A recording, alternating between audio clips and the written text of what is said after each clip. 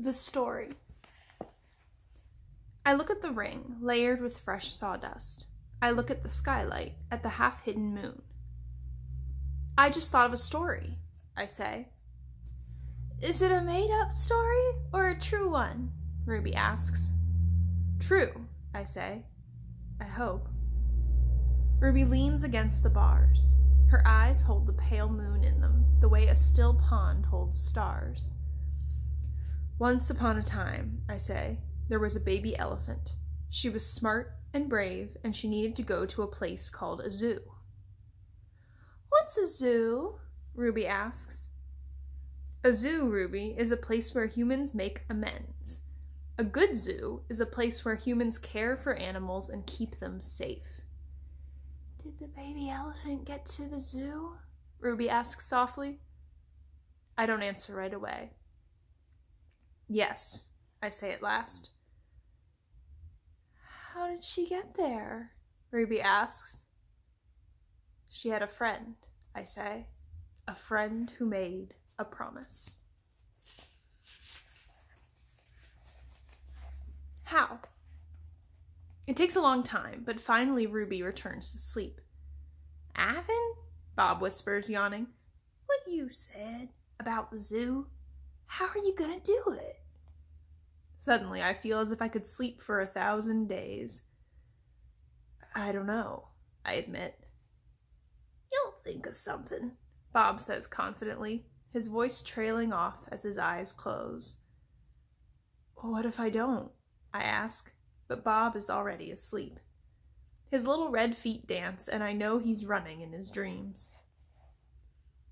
Remembering. Bob and Ruby sleep on. I don't sleep. I think about the promise I made to Stella and the pictures I've made for Ruby. And I remember. I remember it all what they did. We were clinging to our mother, my sister and I, when the humans killed her. They shot my father next. Then they chopped off their hands, their feet, their heads. Something else to buy. There is a cluttered, musty store near my cage. They sell an ashtray there. It is made from the hand of a gorilla. another Ivan. When morning comes and the parking lot glimmers with dew, I see the billboard on the highway. There I am, the one and only Ivan, bathed in the pink light of dawn. I look so angry with my furrowed brow and clenched fists. I look the way my father did the day the men came. I am, I suppose, a peaceful sort. Mostly I watch the world go by and think about naps and bananas and yogurt raisins. But inside me, hidden, is another Ivan. He could tear a grown man's limbs off his body. In the flicker of time it takes a snake's tongue to taste the air, he could taste revenge. He is the Ivan on the billboard. I stare at the one and only Ivan, at the faded picture of Stella, and I remember George and Mac on their ladders, adding the picture of Ruby to bring new visitors to the Exit 8 Big Top Mall and Video Arcade. I remember the story Ruby told, the one where the villagers came to her rescue. I hear Stella's kind, wise voice. Humans can surprise you sometimes. Uh, humans can surprise you sometimes. I look at my fingers, coated in red paint the color of blood, and I know how to keep my promise. Days. During the days, I wait. During the nights, I paint. I worry when Mac takes Ruby into the ring. He carries the claw stick with him all the time now. He doesn't use it. He doesn't have to. Ruby isn't fighting back anymore. She does whatever Mac asks. Nights. I close my eyes. I dip my fingers into the paint. When I'm done with one piece of paper, I set it aside to dry. It's so small, just one sheet, and I'm going to need so many. I move on to the next, and the next, and the next. It's a giant puzzle, and I'm making the pieces one by one. By morning, my floor is covered with paintings. I hide the paintings under my pool of dirty water before Mac can see them. I don't want them to end up in the gift store selling for $20 a piece, 25 with frame. These paintings are for Ruby, every one of them. Project. Ivan? Ruby asks one morning when I am trying to nap. Why are you always so sleepy during the day? I've been working on a project at night, I tell her. What's a project? It's a thing. A painting. It's a painting for you, actually, I answer. Ruby looks pleased. Can I see it? Not yet. Ruby pokes with annoyance at her roped foot. She takes a breath. Ivan, do I have to do the shows with Mac today? I'm afraid so. I'm sorry, Ruby. Ruby dips her trunk in her water bucket. That's okay, she says. I already knew the answer. Not right. It's night again, and everyone's asleep. I look at the picture I've just made, one of dozens. It's smudged and torn, a muddy blur. I place it beside the others lining my floor. The colors are wrong. The shapes are off. It looks like nothing. It's not what I'm trying to create. It's not what it's meant to be. It's not right, and I don't know why. Across the parking lot, the billboard beckons, as it always does. Come to the Exit 8 Big Top Mall and Video Arcade, home of the one and only Ivan, mighty Silverback. If I could use human words to say what I need to say, this would all be so easy. Instead, I have my pots of paint and my ragged pages.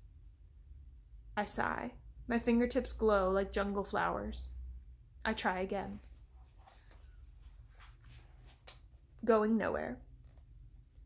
I watch Ruby plod around the ring in endless circles, going nowhere. More visitors have been coming, but not many. Mac says Ruby's not picking up the slack after all. He says he's cutting back on our food. He says he's turning off the heat at night to save money.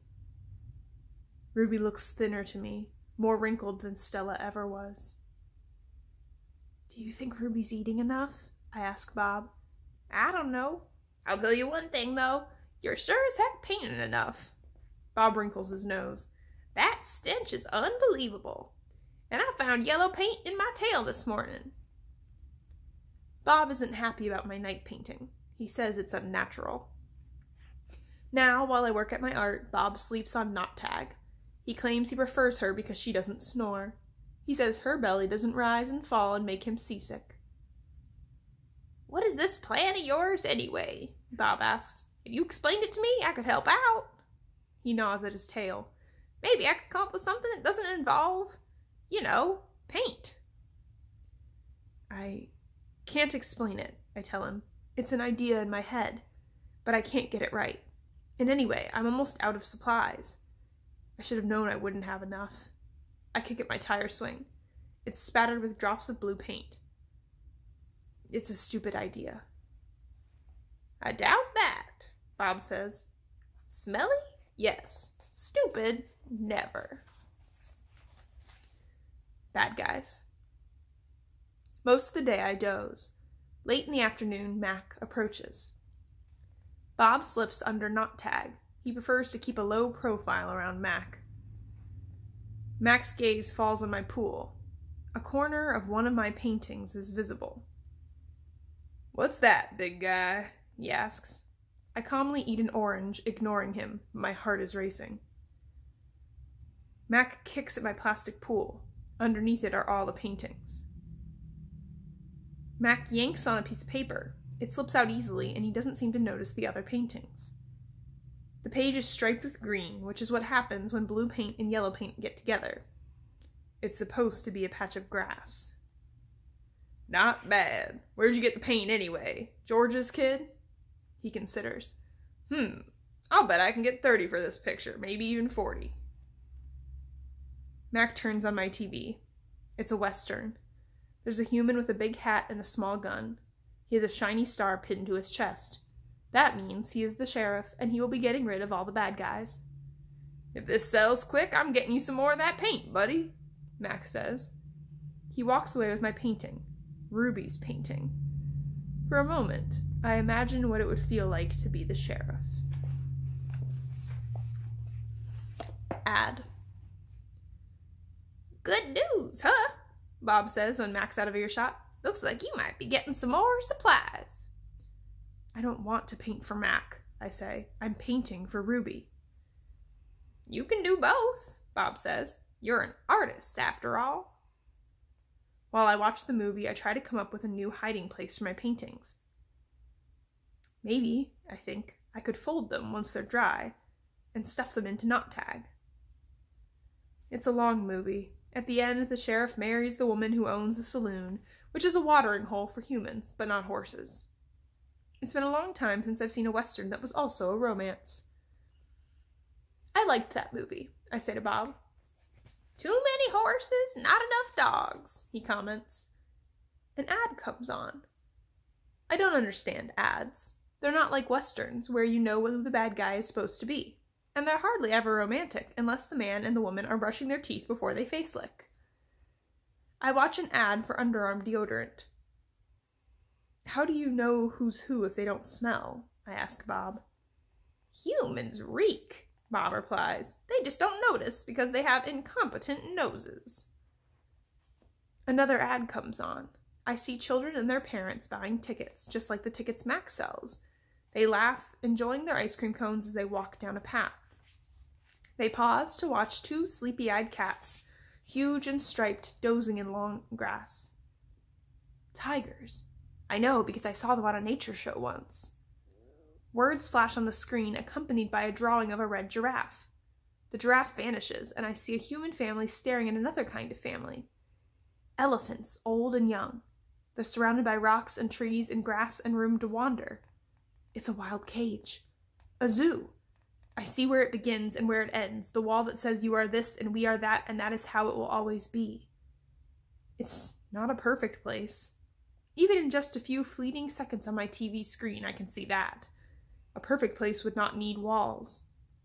But it's the place I need. I gaze at the elephants and then I look over at Ruby, small and alone. Before the ad ends, I try to remember every last detail rocks, trees, tails, trunks. It's the picture I need to paint. Imagining. It's different now when I paint. I'm not painting what I see in front of me a banana, an apple. I'm painting what I see in my head, things that don't exist. At least, not yet. Not Tag. I pull out Not Tag's stuffing. Carefully, I fill her with my paintings, hiding them so Mac won't sell them. She's large, bigger than Bob, but I still have to crumple a few of them. Bob tries to settle on her for a nap. You've killed her, he complains. I had to, I say. I miss your stomach, Bob admits. It's so spacious. When Julia arrives, she notices that I've used up my paints and paper.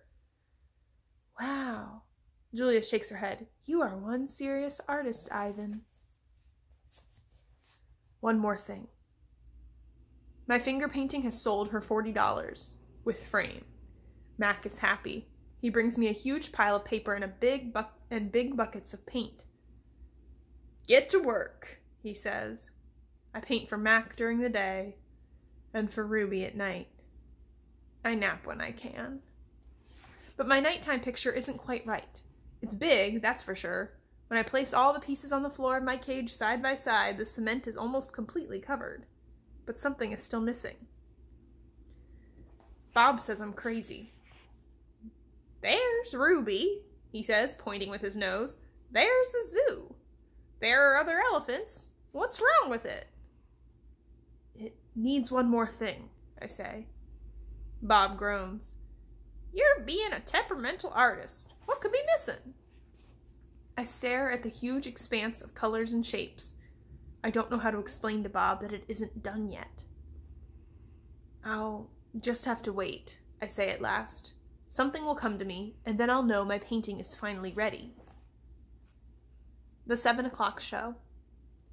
During the last show of the day, Ruby seems tired.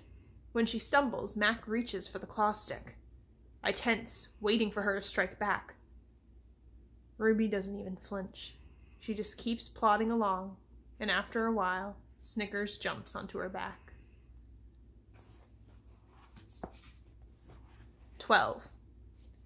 I lie in my cage with Bob in my stomach. We are watching Julia do her homework. She doesn't seem to be enjoying it. I can tell because she is sighing more than usual. Again, for the hundredth time, or maybe the thousandth, I wonder what is missing from my painting. And for the hundredth time, or maybe the thousandth, I don't have any answer. Dad, Julia says as George passes by with the mop, can I ask you a question? May I? George corrects. Ask away. Julia glances down at a piece of paper. What's the difference between the word spelled P R I N C I P A L and the one spelled P R I N C I P L E? The first one is the head of a school, like Miss Garcia. The second one is a belief that helps you know what's right or wrong. He smiles. For example, it's against my principles to do my daughter's homework for her. Julia groans. If I'm going to be an artist when I grow up, why do I need to know how to spell? With a laugh, George heads off. Poor Julia, I think. Gorillas get by just fine without learning how to spell.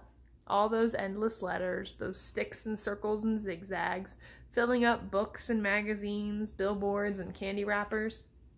Words. Humans love their words. I leap up. Bob goes flying straight into my pool. A word. You know how I feel about wet feet, Bob yells. He scrambles out of the water, shaking each foot in dismay. I look out my window at the billboard. I can still hear Mac's voice in my head. Come to the Exit 8 Big Top Ball and Video Arcade, home of the one and only Ivan, Mighty Silverback. I count to 12, and then I count again, just to be sure. I lay out 16 pieces of poster board, four down, four across, a perfect square.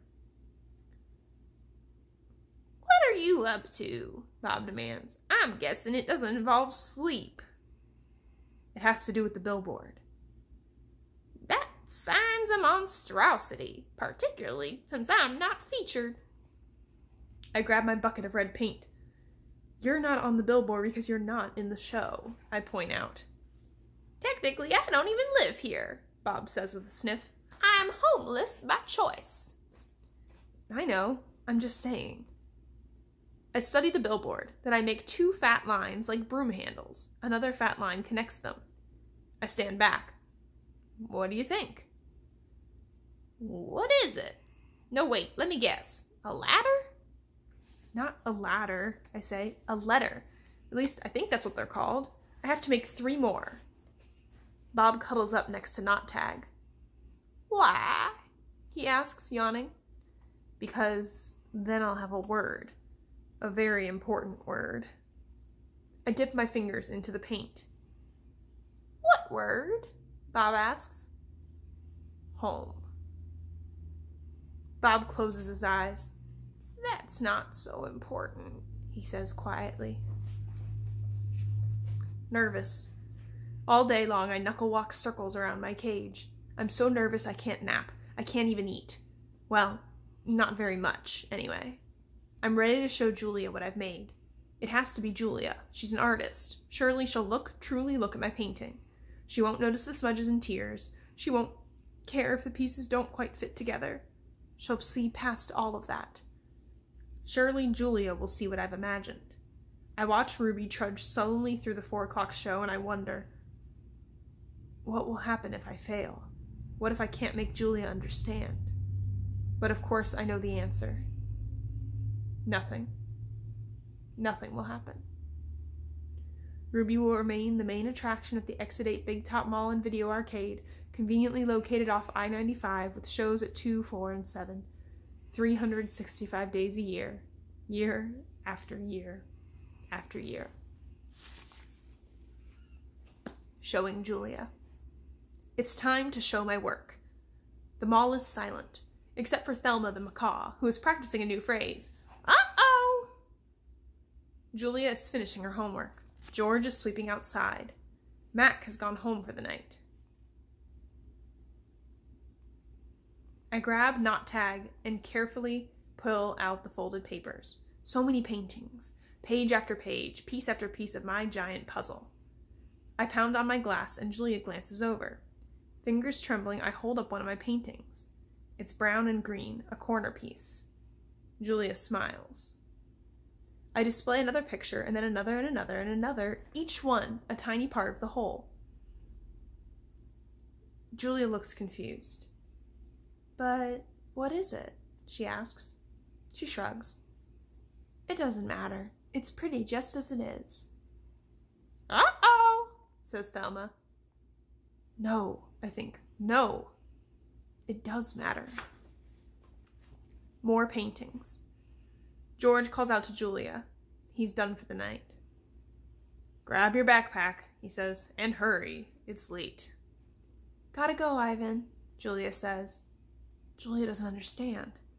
I have to find the right pieces. I dig through the pile. They're here somewhere. I know they are. I find one, another one, another. I try to hold four of them up against the glass. Bob, I say, help me, hurry. Bob grabs paintings with his teeth and drags them to me. One by one, I shove pictures through the window crack. They crumple and tear. There are too many pieces. My puzzle is too big. Careful, Ivan, Julia says. Those might be worth millions someday. You never know. She arranges the paintings into a neat stack. I suppose Mac's going to want to sell these in the gift shop. She still doesn't understand. I shove more out the hole and more and more, all of them, one after another. So Ivan's been painting, has he? George says as he puts on his coat. A lot, says Julia with a laugh. A whole lot. You're not taking all those home with you, are you? George asks.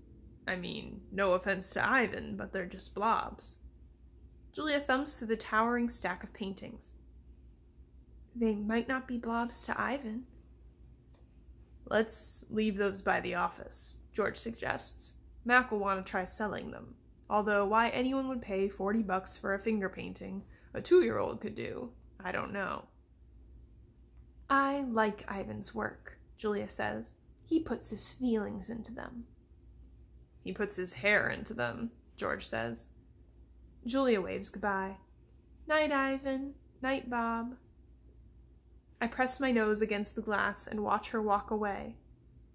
All my work, all my planning, wasted. I look at Ruby, sleeping soundly, and suddenly I know she'll never leave the Big Top Mall. She'll be here forever, just like Stella. I can't let Ruby be another one and only. Chest beating. Often when visitors come to see me, they beat their hands against their puny chests, pretending to be me. They pound away, soundless as the wet wings of a new butterfly. The chest beating of a mad gorilla is not something you ever want to hear, not even if you're wearing earplugs. Not even if you're three miles away wearing earplugs. A real chest beating sends the whole jungle running, as if the sky has broken open, as if men with guns are near. Angry. Thump. The sound, my sound, echoes through the mall. George and Julia spin around. Julia drops her backpack. George drops his keys.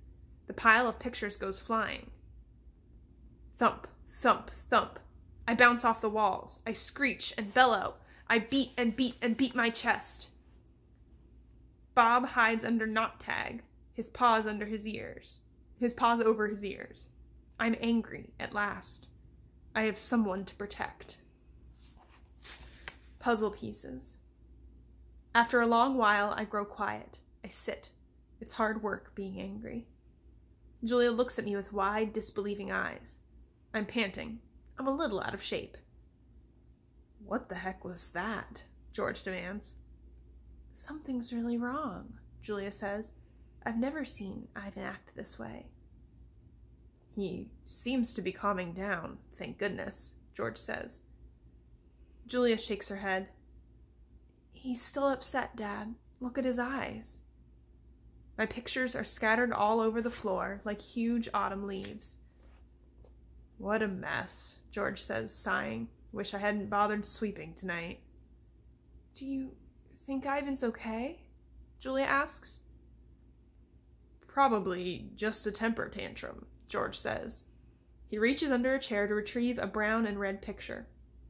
Can't say I blame the guy, stuck in that tiny cage all these years. Julia starts to answer, but then she freezes. She cocks her head. She stares at her feet where my pictures lie in disarray. Dad? She whispers. Come see this. I'm sure he's another Rembrandt, George says. Let's pick these up and not get go pick these up and get going, Jules. I'm exhausted. Dad, she says, seriously, look at this. George follows her gaze. I see blobs, many, many blobs, along with the occasional swirl. Please, can we go home now? That's an H, Dad. Julia kneels down, straightening one picture, then another. That's an H, and here. She grabs more pictures. Put this one here, and I don't know, maybe that one? You have an E. George rubs his eyes. I hold my breath. Julia is running now. She picks up one picture, sets down another. It's like a puzzle, Dad. This is something. It's words, maybe words, and a picture of something. A, a giant picture. Jules, George says, this is crazy. But he's looking at the floor too, wandering from picture to picture and scratching his head. H, Julia says. E, O. O? Julia checks her, chews her lower lip. H E O? And that looks a lot like an I. H E O I. George writes in the air with his fingers. I E O H. Not the letter, an actual I, and that's a foot, or maybe a tree and a trunk. Dad, I think that's a trunk. Julia runs to my window. Ivan, she whispers, what did you make? I stare back. I cross my arms. This is taking much longer than I'd thought it would. Humans. Sometimes they make chimps look smart. Finally. Julia and George take the pictures to the ring where there's room to see them all. An hour passes as they try to assemble my puzzle. Ruby's awake now, and she and Bob and I watch. Ivan? Ruby says. Is that a picture of me? Yes, I say proudly. Where am I supposed to be? That's a zoo, Ruby. See the walls and the grass and the people looking at you? Ruby squints. Who are all those other elephants? You haven't met them, I say. Yet. It's a very nice zoo, Ruby says with an approving nod. Bob nudges me with his cold nose. It is indeed. In the ring, Julia pumps her fists in the air. Yes! she cries. I told you, Dad. There it is. H O M E. Home. George gazes at the letters. He spins around to look at me. Maybe it's just a coincidence, Jules. You know, a once in a trillion kind of thing. Like that old saying about the chimp and the typewriter. Give him long enough and he'll write a novel. I make a grumbling noise, as if a chimp could write a letter, let alone a book. That and how do you explain the rest of it? Julia demands. The picture of Ruby in the zoo. How do you know it's a zoo? George asks.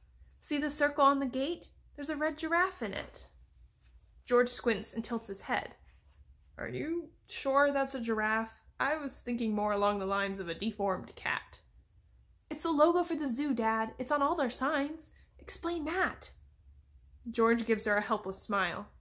I can't. I can't begin to. I'm just saying there has to be a logical explanation. Look how big this is. Julia puts the last piece of Ruby's right ear into place. It's huge.